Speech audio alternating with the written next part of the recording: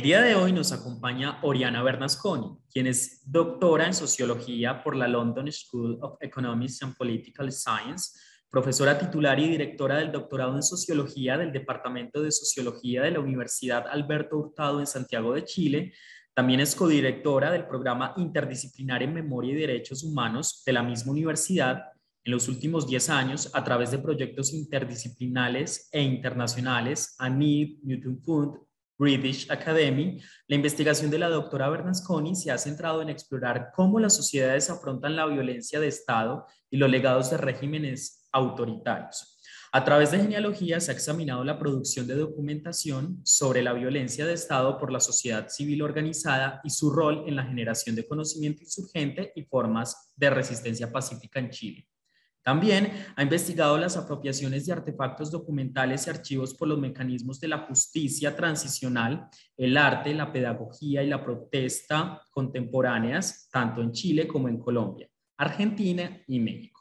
En 2022 editó el libro Sujetos y Subjetividades, Aproximaciones Empíricas en Tiempos Actuales, editorial Universidad Alberto Hurtado, y en 2019 Resistance to Political Violence in Latin America. Documenting Atrocity, Palgrave Macmillan, reeditado en español en 2020 como Documentar la Atrocidad, Resistir el Terrorismo de Estado, editorial Universidad Alberto Hurtado. Sus artículos se han publicado en Subjectivity, Journal on Transitional Justice, Atenea, The Source and Society, Colombia Internacional, entre otras revistas.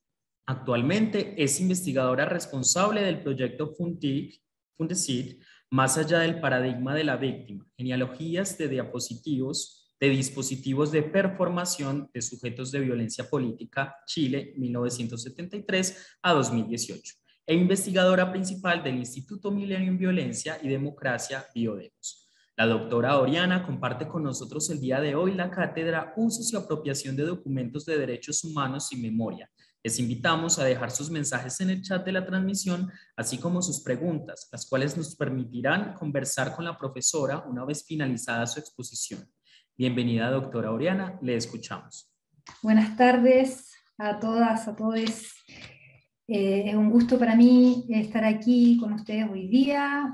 Quería comenzar agradeciendo a la Escuela Interamericana de Bibliotecología de la Universidad de Antioquia, a la Biblioteca Nacional de Colombia, eh, a Diana Patricia Restrepo, a Dori Genao, a Natalia Duque por esta invitación y felicitarlos porque he estado mirando las sesiones anteriores y estoy muy fascinada por la capacidad de articular a tantas personas eh, en esta iniciativa común, así que mm, parto eh, felicitándolos por, por, esta iniciativa y por sostenerla en tiempo porque me estoy enterando que, que, ya esta es la segunda versión.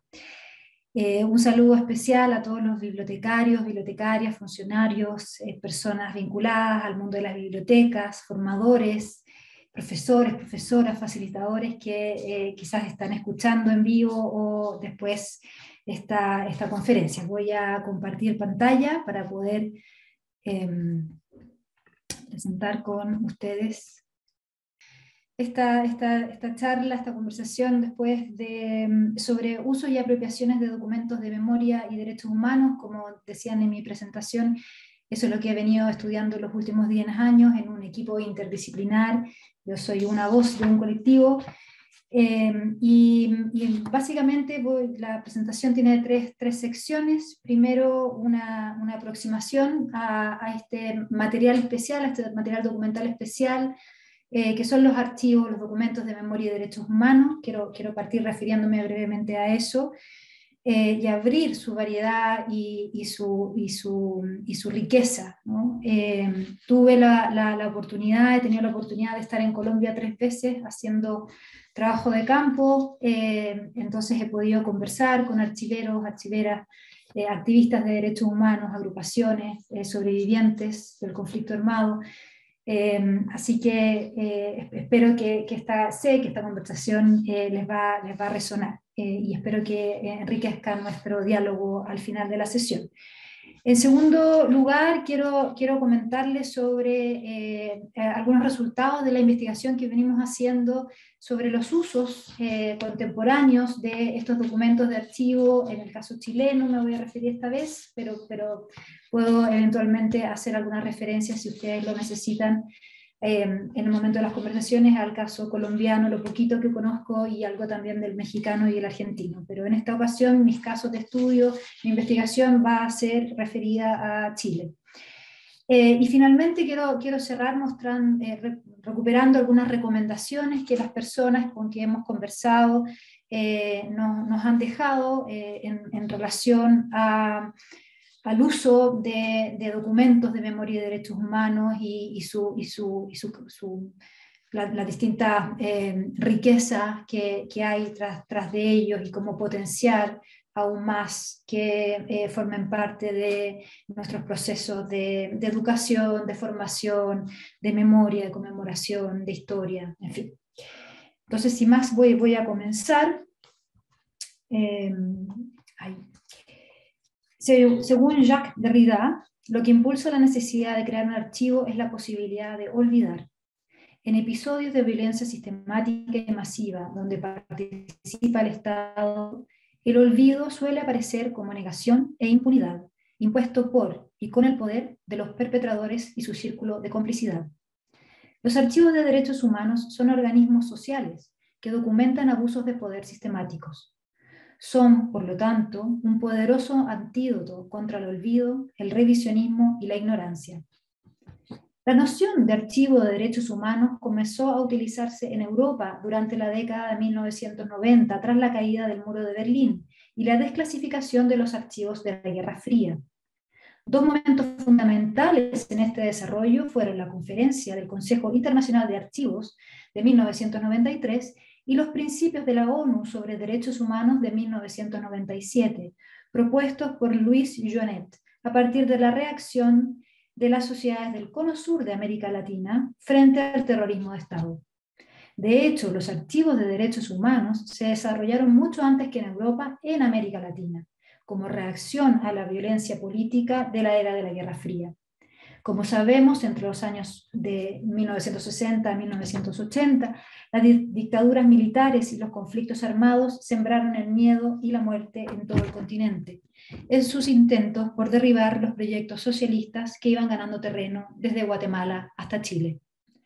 Sin embargo, conceptualmente quisiera proponer que las violaciones de los derechos humanos pueden ser materia del archivo de derechos humanos a lo largo de la historia y por lo tanto pueden incluir los crímenes infligidos por el colonialismo a las poblaciones indígenas, los genocidios de grupos étnicos, sexuales, políticos o nacionales, guerras, particiones de naciones, conflictos armados, masacres y otras formas de violencia.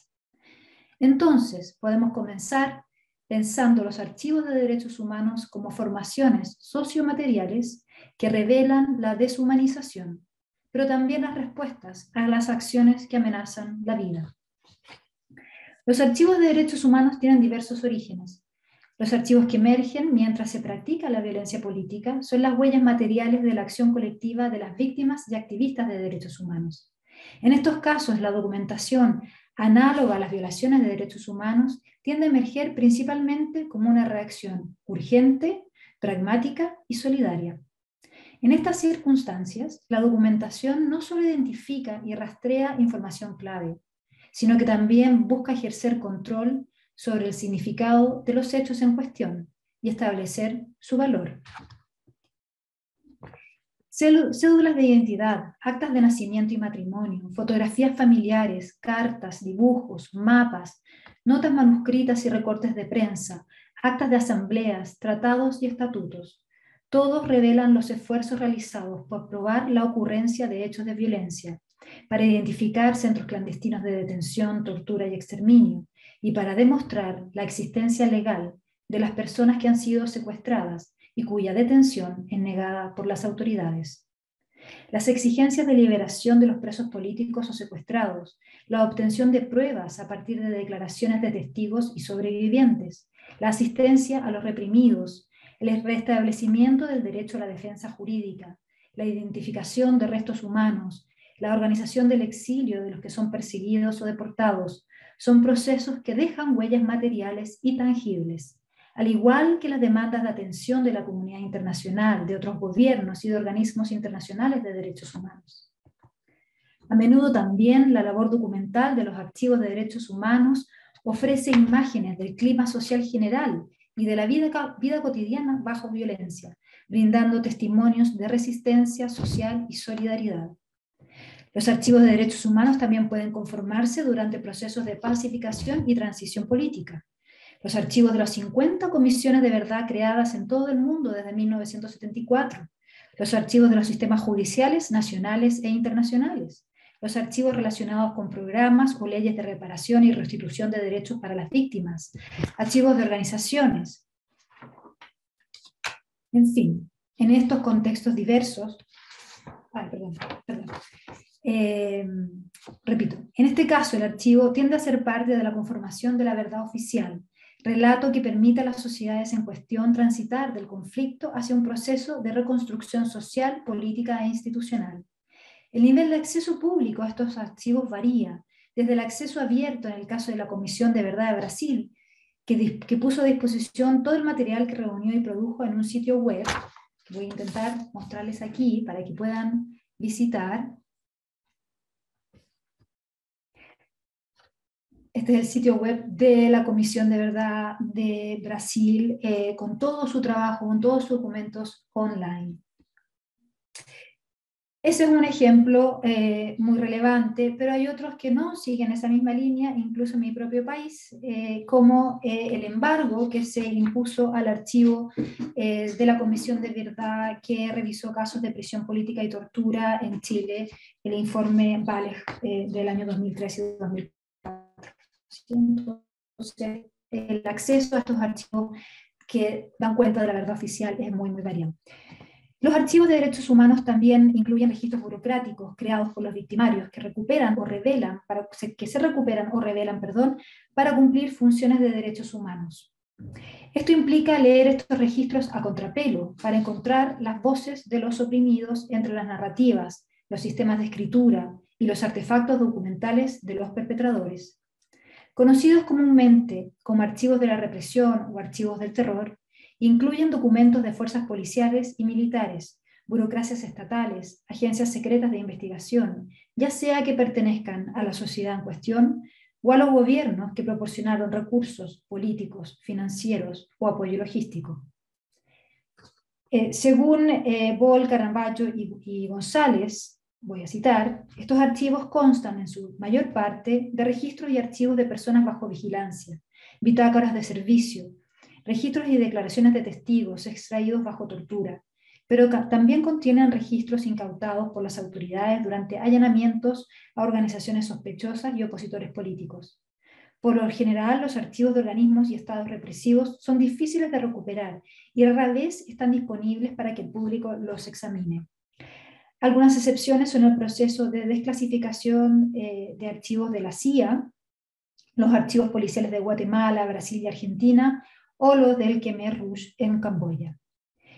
El archivo de la Dirección de Inteligencia de la Policía de la Provincia de Buenos Aires, DIPBA, por ejemplo, fue sustraído del dominio del victimario para ponerlo a disposición de las víctimas y del público en general a través del trabajo de la Comisión Provincial de la Memoria, un organismo autónomo y público creado en el año 2000, luego de la reforma policial de 1988 que expuso este archivo en la Argentina. En ocasiones también, una comunidad afligida por violencia severa tiene que recrear archivos perdidos o destruidos para iniciar complejos procesos de configuración identitaria post-conflicto.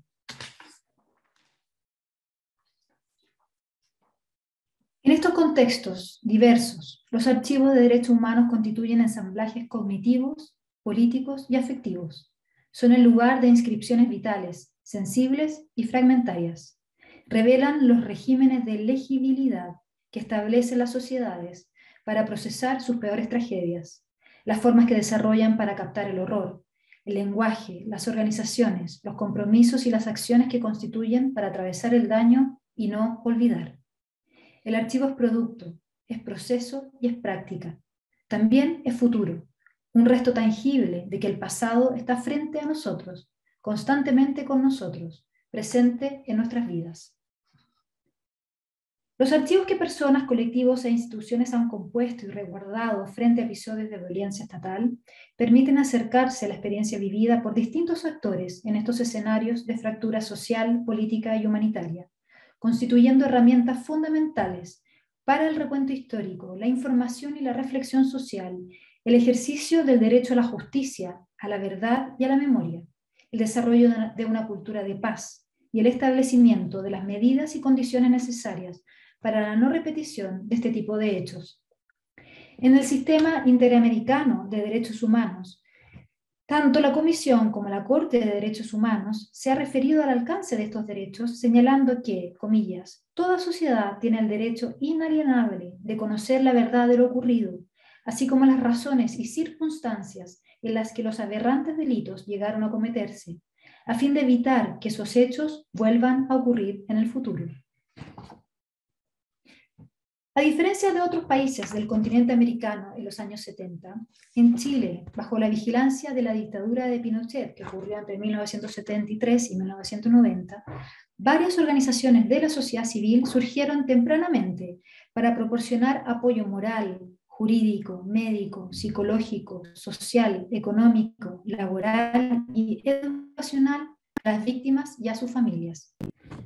Para ello, debieron reunir y procesar documentación y desarrollar sistemas de información que hicieran posible dimensionar las necesidades de cada caso atendido. Testimonios e historias orales, cartas escritas en centros clandestinos de detención y sacados al exterior por un pariente o trabajador de los derechos humanos. Declaraciones de familiares y testigos.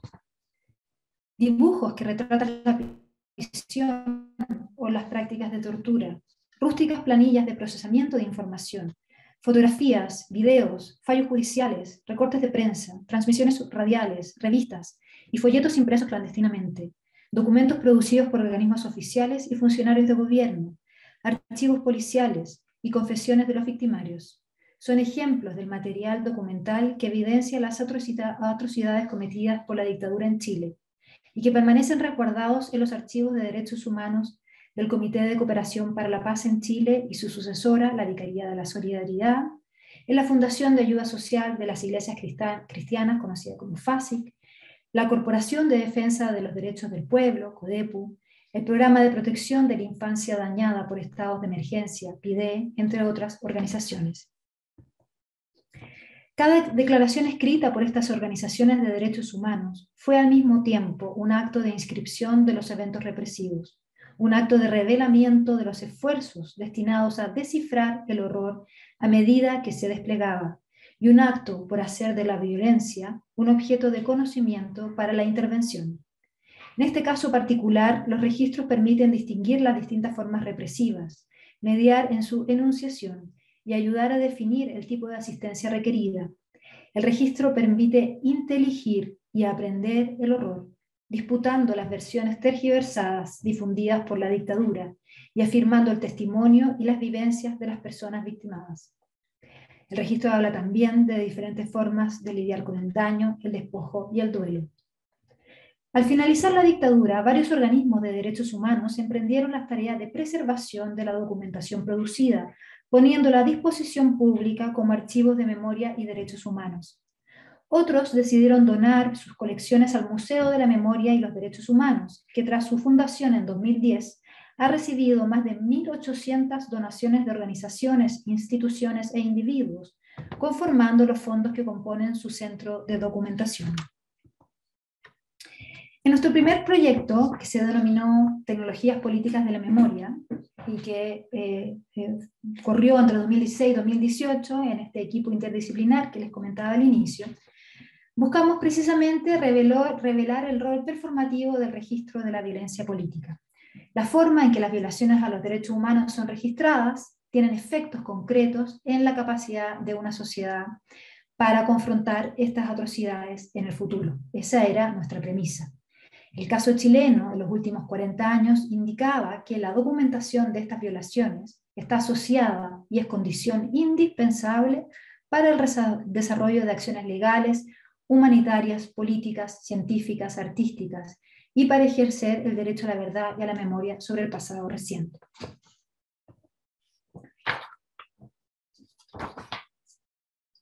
Eh, en, esa primera investigación estudiamos, eh, mediante, como decíamos antes, ejercicios genealógicos, eh, la historia de estos documentos creados en estos organismos de derechos humanos durante la dictadura y que luego transitaron a otros usos durante la transición política, en particular su aparición como, como evidencia en las comisiones de verdad que ha tenido el país, en los juicios por crímenes de lesa humanidad y también eh, eh, eh, cómo han ayudado a recuperar ex centros de detención y tortura para refuncionalizarlos como sitios de memoria y abrirlos al público.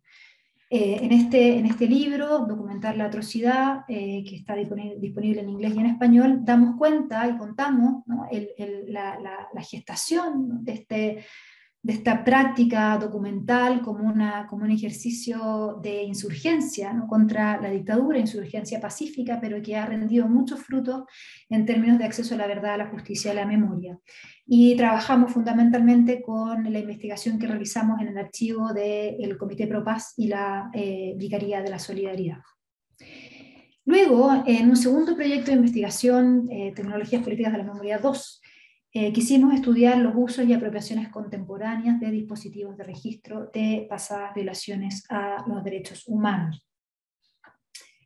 Eh, lo, que nos, lo que nos interesaba eh, era estudiar, seguir en este estudio ¿no? de, de, los documentos producidos en el tiempo de la dictadura, pero aproximarnos a sus usos contemporáneos actuales. ¿no? Luego de casi 50 años, vamos a cumplir el próximo año, ¿no? desde el golpe de Estado, eh, nos preguntábamos cómo habían sido usados, eh, cómo estaban siendo usados ahora. Entonces eh, teníamos cuatro líneas de indagación, seguimos con la línea de justicia transicional, de los que les voy a hablar un poquito a continuación. también vimos, como les comentaba, cómo estos documentos son usados en los sitios de memoria, ¿no? en los ex centros de detención y tortura recuperados como sitios de memoria, de lo que no voy a hablar hoy día, pero que sí hay documentos y artículos en nuestra página web accesibles para, para ustedes. Eh, también trabajamos el uso pedagógico en las escuelas del país de estos materiales. Nos preguntábamos si estaban siendo usados estos documentos de derechos humanos y de memoria eh, por los profesores eh, en sus intentos por enseñar la historia reciente del país, por formar ciudadanos críticos y conscientes de su historia reciente. Eh, y también nos preguntábamos por cómo aparecían estos documentos en la producción cultural y en particular en la literatura de ficción y en las eh, películas y series de televisión que se han producido eh, en estos años.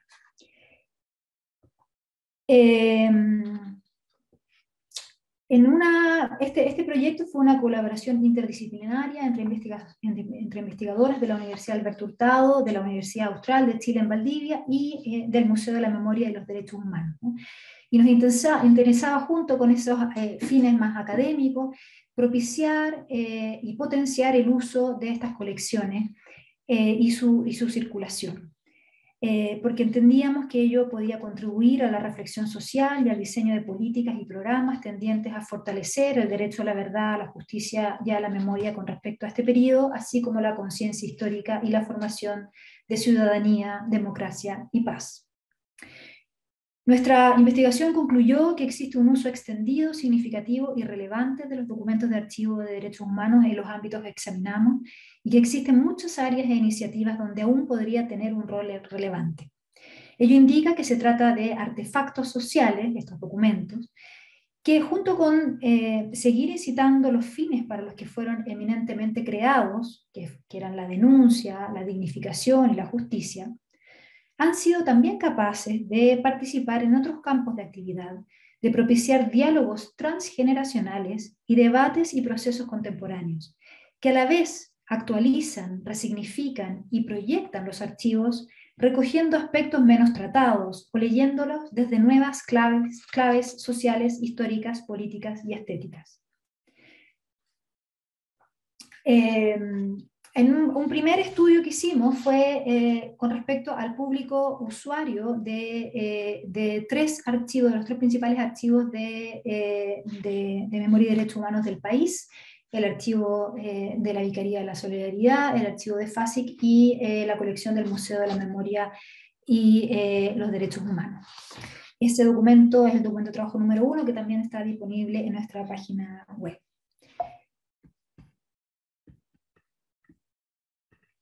Eh, y les quiero mostrar algunos de los, de los resultados de, de, esta, de esta, investigación.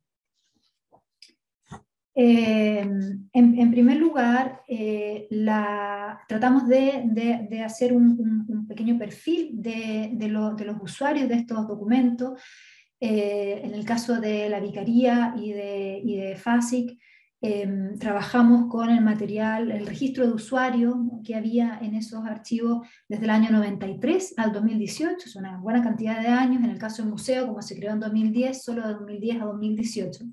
Y estos son los datos para el, el archivo de, que hoy es, conservado por la Fundación Fungisol, de la Vicaría y del Comité ProPaz.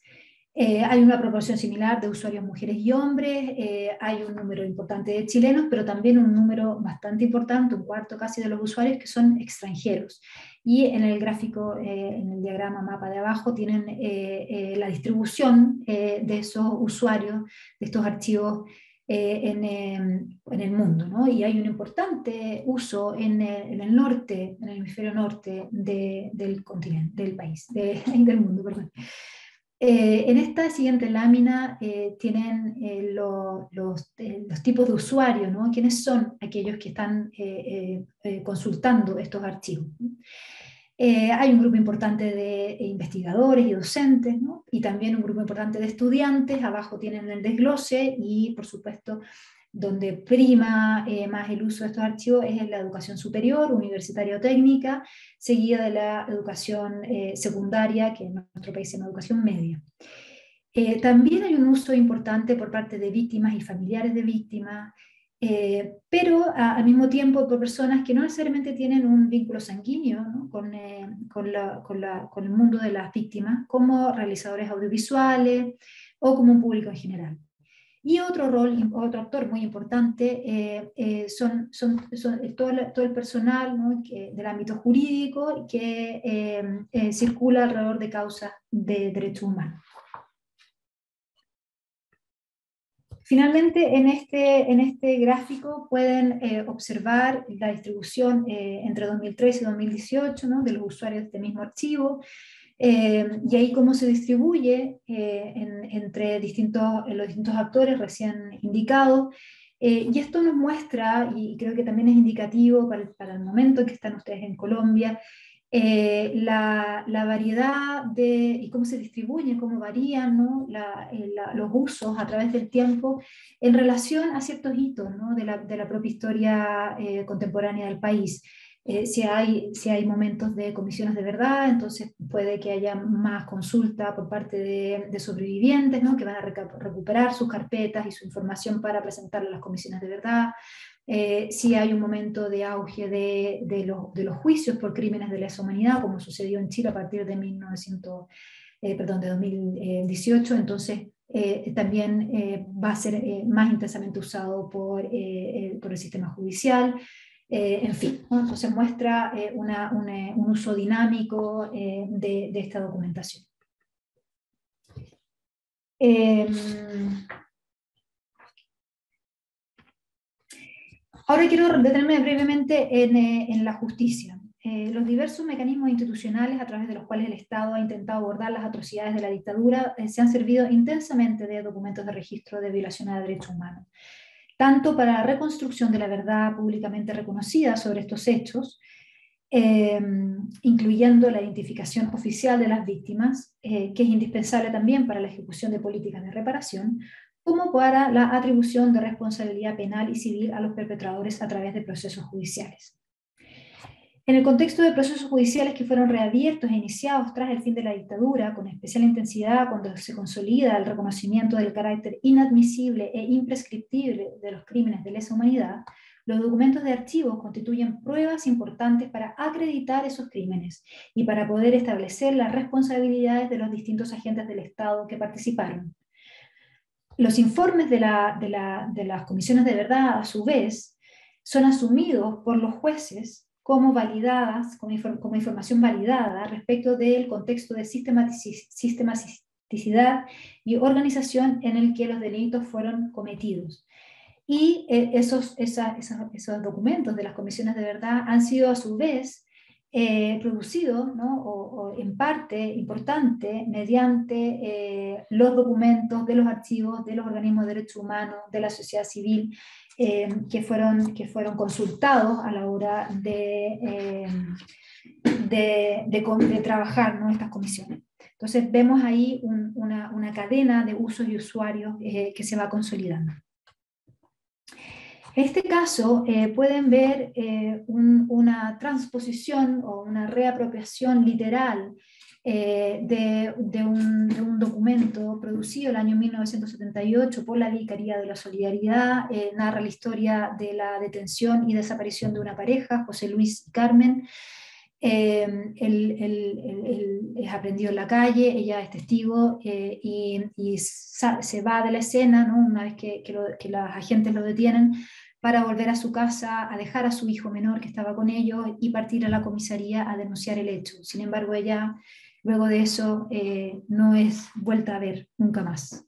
Esa misma, eh, ese mismo texto, ese mismo segmento narrativo, es, eh, reaparece tal cual en el año 2016 en Buenos Aires, son los documentos que viajan a través del continente, eh, para sustanciar eh, la decisión judicial en el caso de la Operación Cóndor.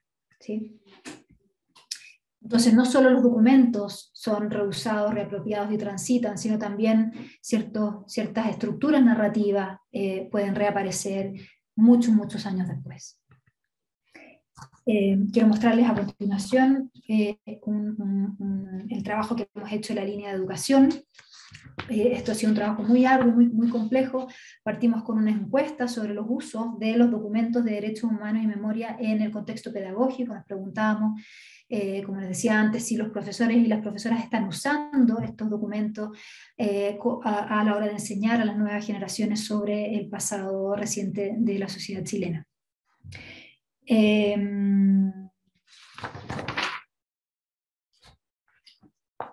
y hay un primer, entonces, este documento de trabajo que también se puede descargar eh, de libre acceso. Eh, mostramos una encuesta que realizamos a mil profesores a lo largo de Chile, que tuvo este, este fin de, de conocer los usos que estaban teniendo estos documentos y también eh, cuáles eran los obstáculos y, los elementos que facilitaban el acceso y el uso de estos documentos en el contexto escolar.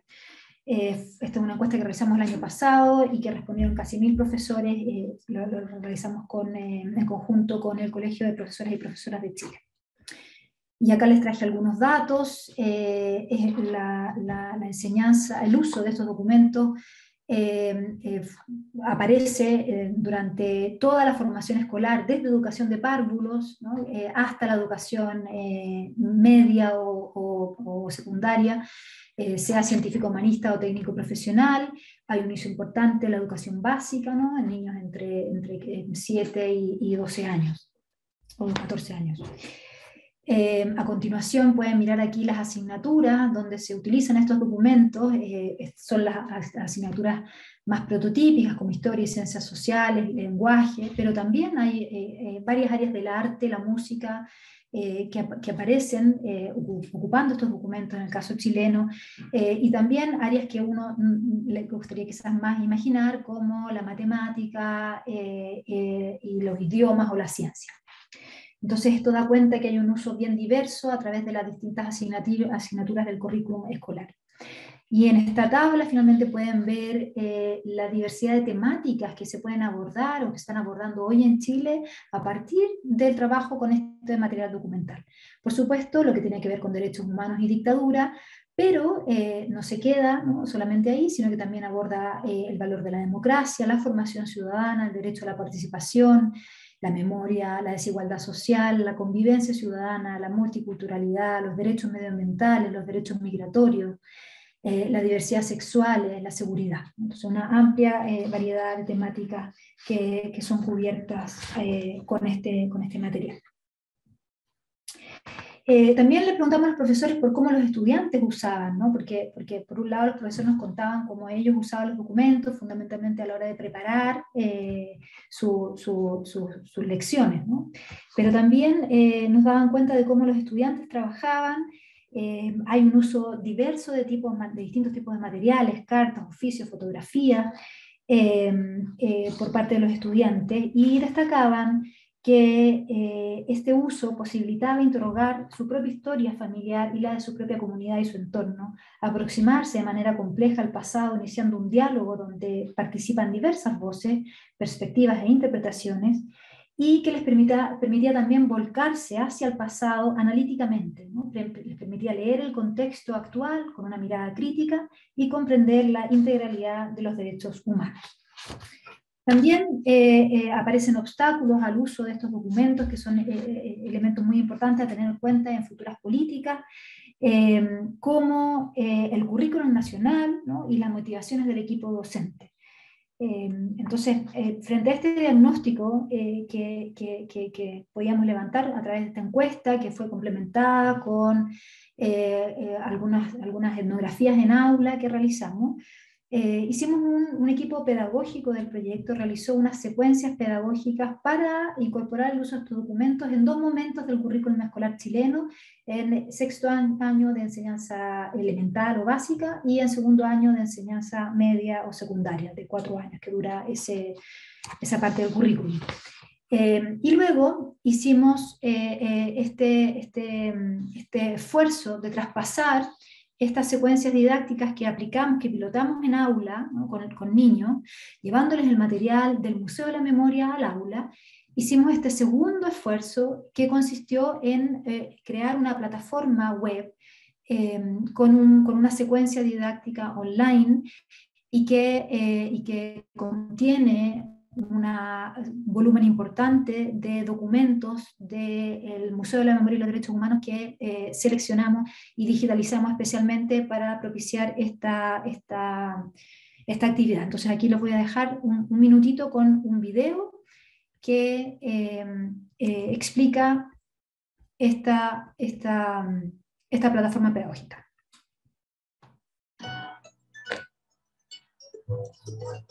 Viaje por las voces de la dictadura en Chile es una aplicación web pedagógica dirigida a estudiantes de educación básica y media. Nos subimos a la micro y comenzamos el recorrido por esta secuencia didáctica que pone en juego los archivos de memoria y derechos humanos, la educación ciudadana, las habilidades de pensamiento histórico y las narrativas de los y las estudiantes sobre el pasado de la dictadura civil-militar a través de una selección significativa de archivos del Museo de Memoria y los Derechos Humanos. Y por eso que creo que hay que defender la vida. Y ya, ya, ya no, no creo que importe mucho la edad. El museo también viaja al aula. La aplicación web surge fundamentalmente de eh, un trabajo con un equipo de profesores en ejercicio, que fueron los autores de la guía y que también participaron en el pilotaje del material que se generó. Lo que se hizo entonces fue una identificación de, un problema, digamos, que veíamos en el trabajo con, con archivos de memoria y derechos humanos, el estudiante no era el que seleccionaba archivos, eh, se encontraba directamente con ellos comenzamos a trabajar en un diseño más cercano a un uso eh, autónomo, directo de los estudiantes de los archivos y que esa apropiación personal estuviese construida a partir de armar un puzzle propio con los documentos. El estudiante es el protagonista justamente todo el proceso, para que el estudiante pueda construir su propia voz en relación con los distintos momentos que la secuencia permite, alineados justamente con los objetivos del Ministerio de Educación no solamente en relación con las habilidades, sino que también con las actitudes que el Ministerio de Educación ha planteado para el desarrollo de esta unidad.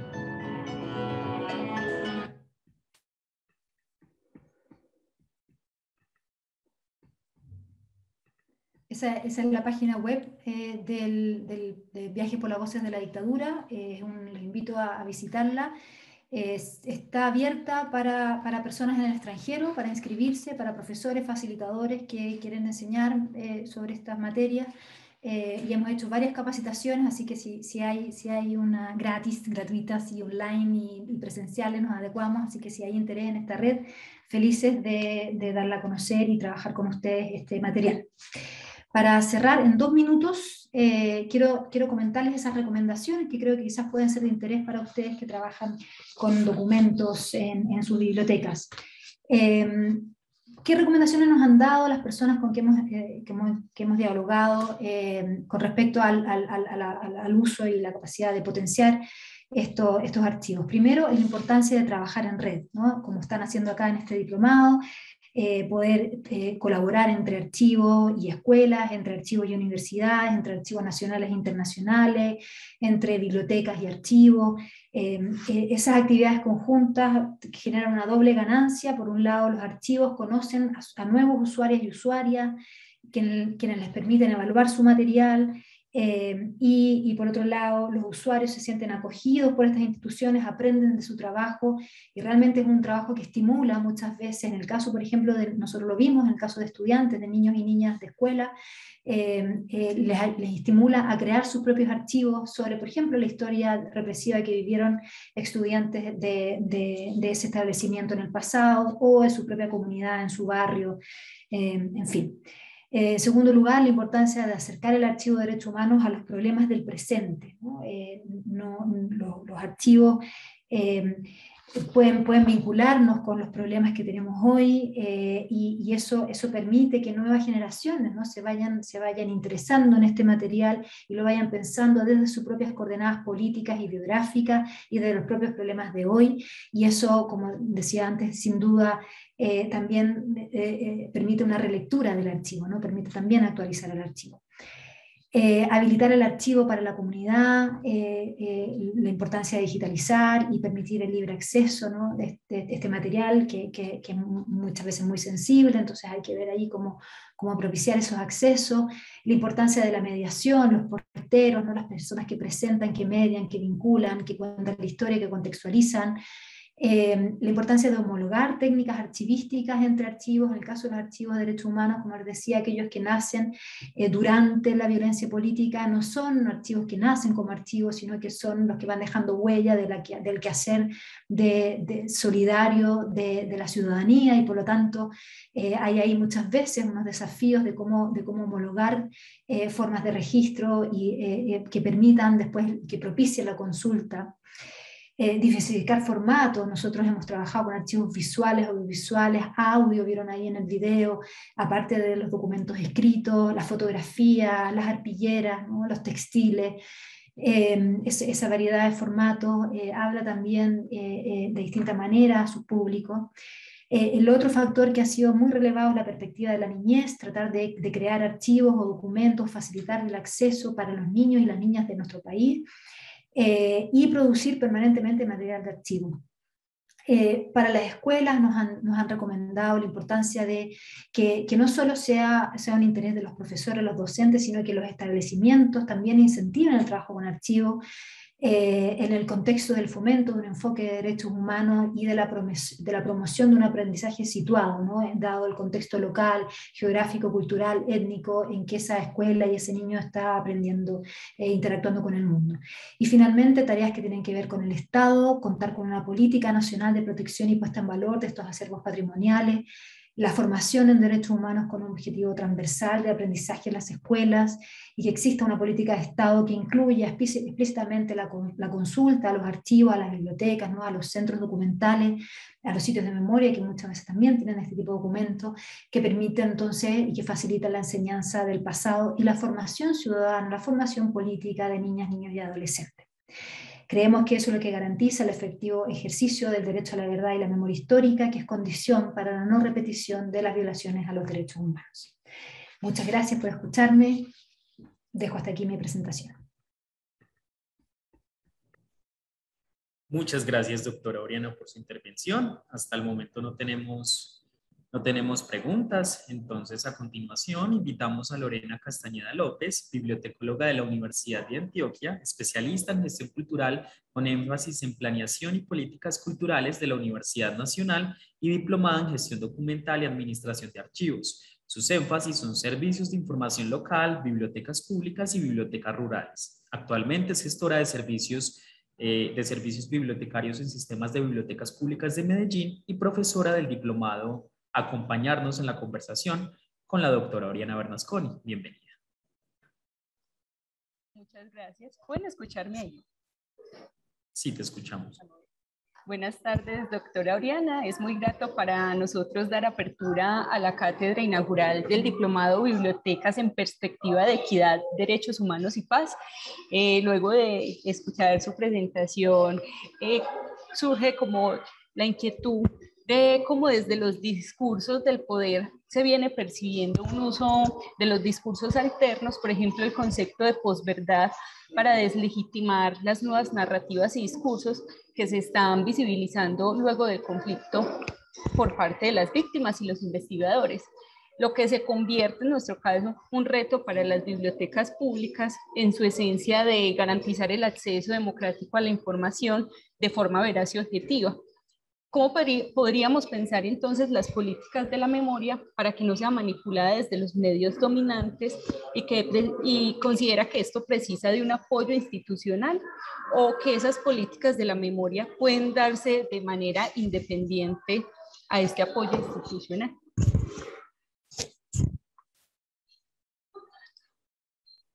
Hola Lorena, qué gusto conocerte. Muchas gracias por la pregunta.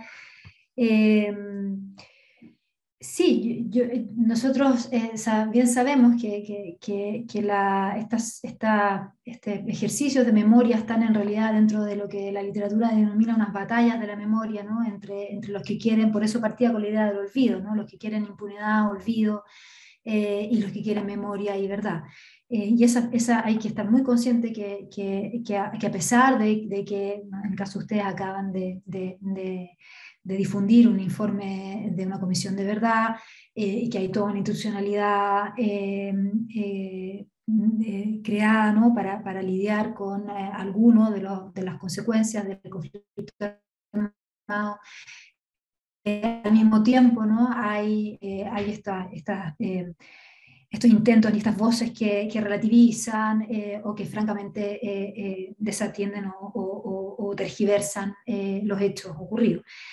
En ese sentido, em, e, es tan, tan fundamental el, material de archivo, ¿no? el material documental em, eh, y, la, y, la, y, el poner en valor. ¿no? Yo en Colombia alcancé a conocer muchas iniciativas locales con toda la riqueza étnica, geográfica, eh, que tiene el país eh, de, de, comunidades ¿no? que ponían en valor sus propios, archivos y, los, conservaban, ¿no? los ponían a disposición en la medida que se sentían seguros para hacerlo.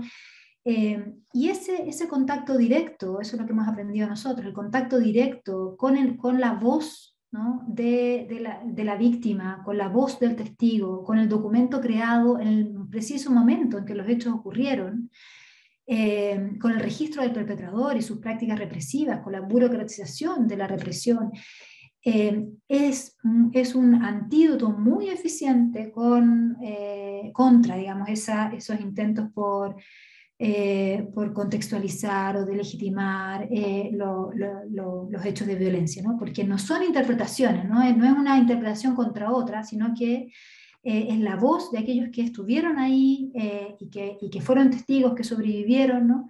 Eh, la, que, la, que uno accede mediante este documento. Eso es lo que los estudiantes, por ejemplo, de las escuelas de nuestro país nos han, nos han rescatado como un elemento muy importante, incluso acá, tantos años después, sigue habiendo eh, un, grupo de la población que niega eh, eh, los hechos perpetrados por la dictadura y cuando estudiantes incluso con esa, con esa herencia ¿no? cultural se acercan y, sin ninguna mediación, digamos, ¿no? sin que tienen en vista ¿no? un registro audiovisual, por ejemplo, em, genera un cambio, un cambio de perspectiva bien importante. Yo creo que, que el, el, América Latina ha dado cuenta de la capacidad que tiene de, de resistir las distintas violencias a través de la sociedad civil colectiva, solidaria, agrupada, corajuda, ¿no? pero, pero, pero también se requiere de apoyos institucionales, ¿no? de reglamentos, de normas, de, protocolos, ¿no? para que los archivos no se destruyan, por ejemplo, para que se conserven, para que pasen al archivo nacional, en fin. Eh, sin eso, sin esa eh, institucionalidad, eh, la tarea se hace mucho más difícil. Muchas gracias, doctora Briana. Y justo que mencionas el informe de la Comisión de la Verdad que da para las bibliotecas también esa, ese compromiso con la ciudadanía, de que puedan confrontar esa información y esa percepción de la información que ya está cristalizada para ellos. Es importante entonces el acompañamiento por parte de los bibliotecarios para que puedan contrastar esa información que ya tienen que, queda como en el imaginario de muchos hasta que luego se puede legitimar con los, con los formatos, los diferentes formatos de preservación de, de la memoria, ya sea el archivo fotográfico, documentales y los libros. Eh, bueno, no, no sé si de pronto podrías compartirnos como cuál es el reto para la biblioteca pública en seguir fortaleciendo esa, eh, eh, la difusión de, de, la información, de la memoria de, de las víctimas y de los victimarios también y cómo somos mediadores de paz desde allí. Como, como decía mi, mi, colega ahí en el, en el, bueno, más adelante en ese video que, que, que interrumpí para no extenderlo más, eh, yo creo que, que desde, desde, lo que hemos aprendido en el caso chileno, para, para ser mediador de paz eh, no hay que, que, que, obliterar o negar el conflicto. Eh, en, la, en, el caso, en nuestro país todavía la dictadura genera una, una controversia eh, y hay que hacerse cargo de esa controversia y, conversar sobre ella. Entonces, me imagino unas bibliotecas muy activas en recoger las historias locales, ¿no? las interpretaciones, lo que mismo hacemos en, eh, en, viajes por las voces de la dictadura. Partimos con la pregunta a los estudiantes de cuáles son las memorias que ellos traen, las memorias familiares, ¿no? las experiencias de, su, de su, genealogía propia, ¿no? de su comunidad. Eh, con respecto, en el caso de ustedes, al conflicto armado, y para partir de esa experiencia empezar a, propiciar su encuentro con material que permita complementar, enriquecer o, disputar también esa, esa, esa, ese recuerdo, esa memoria que ellos traen. Entonces, me, me, me imagino mediadores eh, capaces de trabajar con esos, con esos materiales que ya han sido producidos socialmente en esas comunidades eh, y amplificarlos y enriquecerlos y eventualmente contrastarlos eh, con, eh, con, los documentos de memoria y derechos humanos que, a los que tengan acceso.